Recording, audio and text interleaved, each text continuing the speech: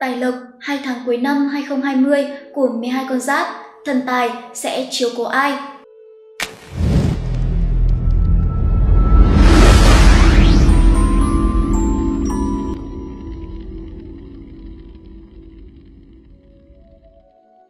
Xin chào quý vị, chào mừng quý vị đã quay trở lại với kênh Phong thủy Gia Cát, kênh thông tin hữu ích chuyên chia sẻ và truyền tải các kiến thức về tử vi, phong thủy và đời sống tâm linh Đặc biệt, được hướng dẫn và tư vấn bởi thầy Gia Cát, một trong những bậc thầy về phong thủy nổi tiếng tại Việt Nam. Quý vị thân mến, có thể nói từ đầu năm 2020 cho đến những tháng gần đây, quả thực là khoảng thời gian đầy biến động với rất nhiều thăng trầm, dịch bệnh, thiên tai, lũ lụt, đại hạn liên tiếp đổ ập tới khiến cho cuộc sống của tất cả chúng ta đều trở nên khó khăn và gặp nhiều trắc trở Chắc hẳn cho đến lúc này, bất cứ ai cũng muốn có thể trải qua những tháng cuối cùng của năm với chút may mắn ít ỏi để có động lực chào đón một năm mới bình an, tốt đẹp hơn. Tử vi học dự đoán sắp tới đây trong số 12 con giáp ở giai đoạn 2 tháng cuối cùng của năm sẽ có một bước ngoặt lớn. Có những con giáp sẽ trở nên may mắn gấp bội sau tất cả những khó khăn đã trải qua thời gian còn lại của năm 2020. Tuy nhiên, lại có những con giáp vô cùng xui xẻo, từ đầu năm cho đến cuối năm vẫn cứ đen, càng thêm đen, từ sự nghiệp đến sức khỏe. Vậy quý vị và các bạn có thắc mắc đó là những con giáp nào sẽ đón quả ngọt và những con giáp nào sẽ ngậm trái đắng hay không? Kênh Phong thủy gia Cát sẽ mời quý vị và các bạn cùng tìm hiểu trong chương trình ngày hôm nay. Trước khi nghe kênh Phong thủy Sa Cát chia sẻ tiếp thông tin thì quý vị đừng quên bấm like, đăng ký kênh và nhấn vào tín hiệu chuông để có thể nhận được những thông báo mới nhất của kênh và có thể biết thêm nhiều thông tin hữu ích. Hạng 1. Tuổi Sửu Những tháng cuối năm 2020 là thời điểm gặp được rất nhiều điều may mắn của người tuổi Sửu. Đặc biệt, trong năm lục hợp Tý Sửu như thế này, bản mệnh sẽ gặp được nhiều may mắn trên phương diện tài lộc, tình cảm và sự nghiệp. Vào thời điểm cuối thu và đầu đông chính là lúc bạn sẽ nhận được những thành quả xứng đáng với công sức lao động của mình. May mắn cũng sẽ đến với bạn tới tấp. Và cũng là thời điểm này vô cùng thích hợp để đôi lứa yêu nhau về chung một nhà. Đặc biệt, vào tháng 11 âm lịch là lúc bạn thu được nhiều khoản thu nhập phụ. Hãy cân nhắc đầu tư hợp lý, bạn sẽ thành công. Tháng 2. Tuổi thìn vào hai tháng cuối năm 2020 này, người tuổi thìn sẽ nhận được sự giúp đỡ và chỉ dẫn của quý nhân nên dễ dàng đạt được mục đích mà mình đã đề ra hơn hẳn bình thường. Mọi phương diện, cuộc sống của bạn đều có bước phát triển đáng kể, đặc biệt là trên phương diện tài vận. Tuy nhiên, thời điểm tháng 11 âm lịch có thể bản mệnh sẽ cần phải đối mặt và giải quyết một vài rắc rối. Đến mùa đông là thời điểm thích hợp để kiếm tiền, bạn có thể nắm chắc thời cơ này để cải thiện tình hình của mình, tài chính của mình. Hạng 3. Tuổi dần Nhờ sự giúp đỡ của nhiều người trên nhiều phương diện mà người tuổi dần trở thành một trong số những con giáp phát tài cuối năm 2020. Bạn có thể được người lớn tuổi trong nhà ủng hộ, quý nhân nâng đỡ, chỉ điểm cũng như bạn bè, đồng nghiệp giúp đỡ. Tháng 7 âm lịch, bản mệnh có thể gặp phải một vài biến cố bất ngờ, song về tổng thể thì vận thế có dấu hiệu phát triển đi lên, đặc biệt trên lĩnh vực tài lộc. Thời điểm sau mùa thu đông là lúc bạn gặp được nhiều may mắn nhất.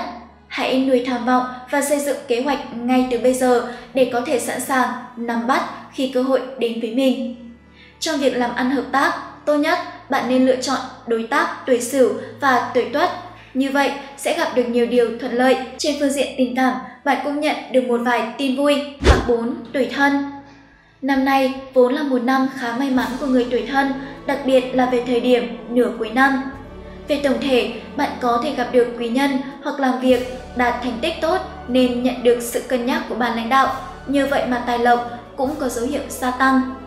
Tuy nhiên, bản mệnh là người chi tiêu hào phóng, đặc biệt trong các hoạt động tụ tập bạn bè nên khó có thể tích lũy được nhiều tài sản.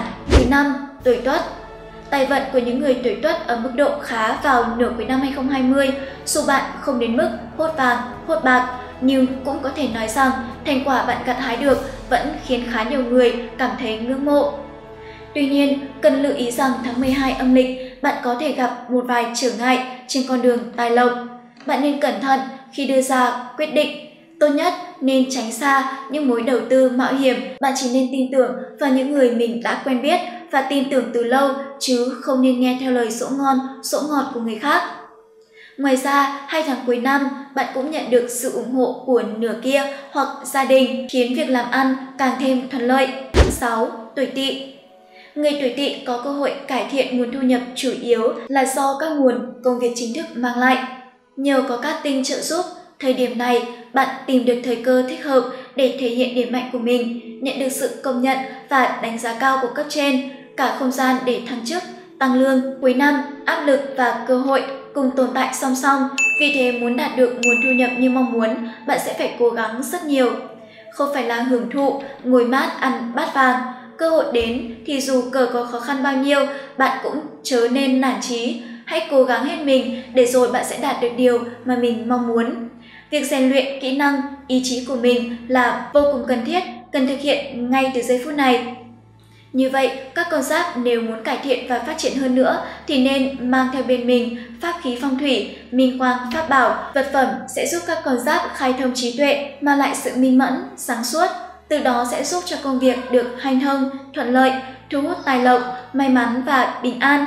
Đặc biệt, vật phẩm được hội tụ bởi những tinh hoa, đức Phật cùng sự linh thiêng của đất trời chứa đựng nguồn năng lượng tích cực, xua tan mọi tà ma, tăng cường các khí, Quý vị thân mến, bên cạnh những con giáp may mắn được trời Phật phù hộ trong những tháng cuối năm, thì có con giáp lại xui tần mạng, đầu năm đen đuổi đổi đường. Dù đầu năm đã cố gắng nhưng cuối năm thu lại chẳng là bao. Vậy đó là những con giáp nào? Xin mời quý vị và các bạn hãy cùng vào xem. Hạng mục tuổi hợi Người tuổi hợi muốn đạt được thu nhập như ý không phải là chuyện quá dễ dàng. Thời điểm này, bạn ít khi nhận được sự giúp đỡ của quý nhân mà ảnh hưởng từ trên cao, bạn ít kinh nghiệm, được sự giúp đỡ của quý nhân mà thường phải tự mình cố gắng, phấn đấu. Có một vài trở ngại sẽ xuất hiện trên con đường bạn đang đi, có những mâu thuẫn sẽ xảy ra bất chợt khiến bạn không thể biết, không thỏa hiệp, không nhượng bộ ít nhiều. Tuy nhiên, bạn không vì thế mà dễ dàng từ bỏ mục tiêu. Thời điểm này, bạn nên hợp tác làm ăn với người tuổi ngọ, sửu, mùi, mão. Họ sẽ đem đến cho bạn nhiều may mắn, giúp mọi việc trở nên thuận lợi. Dù không phải là quý nhân thì họ cũng thường là nhân tố tác động giúp bạn dễ dàng chạm tay đến với thành công. Hạng 8. Tuổi Tý Năm nay là năm bản mệnh của người tuổi Tý. Nửa đầu năm bạn sẽ gặp phải nhiều chuyện không như ý, phiền muộn, đến cuối năm vận thế có chiều hướng cải thiện ít nhiều. Dù không phải bạn gặp quá nhiều điều may mắn, làm ăn, đánh đâu thằng đó, nhưng ít nhất thì bạn đã giải quyết được phần rắc rối xuất hiện bất ngờ. Cuối thu, đầu đông là lúc tài vận của bạn có những bước tiến triển tích cực.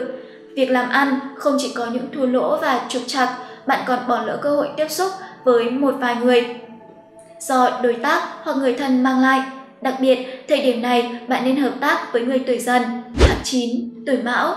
Năm 2020 là một năm khá chắc trở với người tuổi mão, vận trình của bạn có dấu hiệu lên bổng, xuống trầm, khó có lúc được ổn định. Tuy nhiên, điều rằng Tuy nhiên, điều đáng mừng là sang đến nửa cuối năm, bạn sẽ khắc phục được nhiều khó khăn, trong đó tồn tại từ lương và phát triển một cách mạnh mẽ. Trên phương diện tài lộc, tình hình tài chính của bạn có dấu hiệu phát triển dù rất chậm hay chậm, nhưng cũng đủ để các bạn có thể thở phào nhẹ nhõm. Những vất vả khoảng thời gian trước đó đã được đền bù, xứng đáng. Trải qua nhiều khó khăn, vất vả, bạn cũng trở thành dũng cảm hơn, sẵn sàng đối diện với mọi khó khăn trong sự nghiệp. Hạng 10. Tuổi Dậu Vận trình của người tuổi Dậu biến động không ngừng trong suốt năm nay.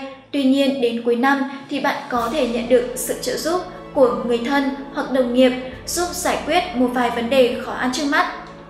Tài vận của bạn bay vào thời điểm này không phải là khá, tuy nhiên cũng không đến mức thấu chi, chi tiêu tốn kém quá nhiều. Muốn bảo toàn được số tài sản mà mình đang có được, bạn cần tránh xa những chuyện thị phi, mâu thuẫn. Nếu có ý định đầu tư, bạn phải cẩn thận hết sức đề phòng đối tượng hợp tác thích hợp với bạn trong thời điểm này là tuổi thìn, tuổi sửu và tuổi thân, hạng 11, tuổi mùi. Thời điểm nửa cuối năm này không phải thời điểm thuận lợi có thể giúp cho người tuổi mùi ăn lên làm ra. Trong các mối quan hệ xã giao, bạn sẽ để xảy ra mâu thuẫn, tranh chấp khiến nhiều chuyện không như ý muốn phát sinh. Có lẽ để khắc phục những vấn đề này, bạn không chỉ cần tốn công, tốn sức mà còn cần tốn cả tiền bạc. Thời điểm cuối năm, tài vận có dấu hiệu ổn định hơn và dần tăng trở lại. Bạn có thể lên kế hoạch cẩn thận, hợp tác với những người đáng tin cậy để có thể thu về một khoản lợi nhuận cho mình. Bù đắp những sai lầm đã qua. Tháng 12, tuổi ngọ. Tuổi ngọ sẽ phải đối diện với rất nhiều rắc rối vào nửa cuối năm 2020, không chỉ ảnh hưởng đến từ công việc mà còn khiến tài vận có dấu hiệu suy giảm. Chuyện tình cảm gặp trục trặc khiến bạn luôn ở vào trạng thái căng thẳng thần kinh, gây tác động lớn đến hiệu suất, công việc, thậm chí còn tạo ra sai sót khiến cấp trên không hài lòng. Nếu cứ tiếp tục lơ là, rất có thể bạn không chỉ không có tiền thưởng mà còn phải dùng chính tiền thưởng của mình để đền bù cho những lỗi lầm. Thời điểm cuối năm cũng không thích hợp cho các khoản đầu tư, vì vậy tốt nhất bạn không nên vội vã đưa ra quyết định mà cần thảo luận kỹ càng với mọi người. Tốt nhất là chờ thời điểm này qua đi. Để giải các vận hạn vào hung tinh thì các con giáp hãy mang theo bên mình vật phẩm phong thủy, bát bảo, tâm kinh, vật phẩm là một pháp khí của nhà Phật giúp cải mệnh, hóa giải thị phi, xung khắc giữa các con giáp và từ đó tăng cường vận khí, tăng may mắn và chiêu tài lộc cho thân chủ. Công việc cũng nhờ vậy mà được hanh thông, thuận lợi và thành công. Hy vọng những nội dung trong chương trình ngày hôm nay đã giúp quý vị và các bạn có được những thông tin hữu ích rất cảm ơn quý anh chị và các bạn đã luôn quan tâm, theo dõi video của chúng tôi. Hẹn gặp lại anh chị và các bạn trong những chương trình lần sau.